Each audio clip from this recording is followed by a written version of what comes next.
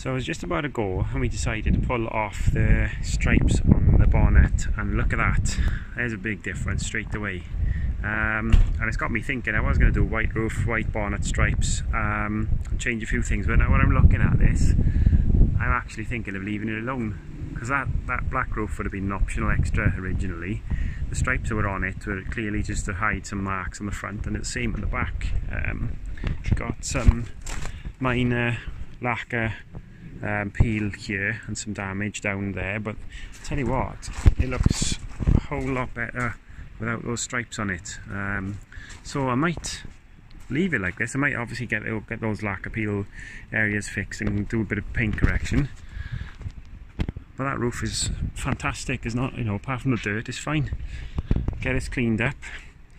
Bonnet is going to need a little bit of work because um, it's got lacquer issues. You can see where the stripes have uh, just come off now. Um, and it just looks like a whole, whole lot cleaner so yeah. Jury's out at the moment but I think I might leave the roof and not do any because there's so many of these with bonnet stripes as well. It's actually slightly rarer to see one without.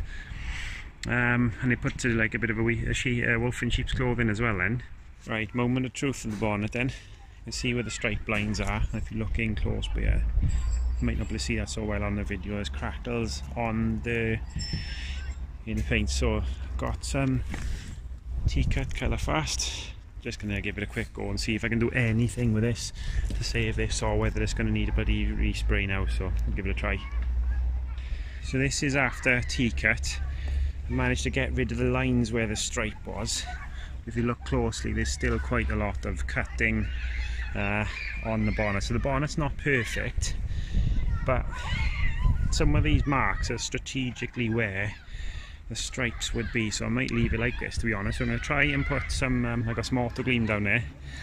Resin polish. I'm to polish it now and see what it looks like after the polish but that's a significant improvement over what it looked like um, 10 minutes ago.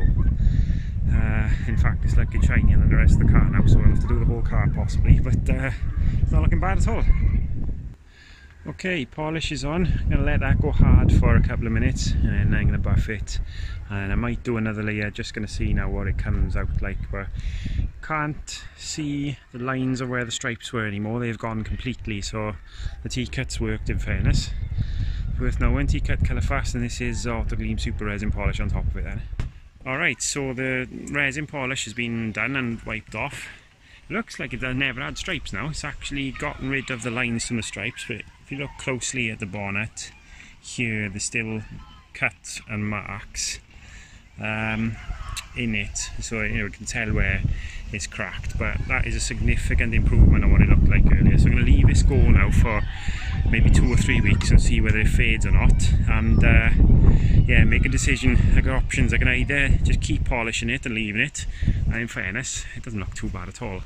Or option B is have it resprayed completely which is going to cost a couple hundred pound.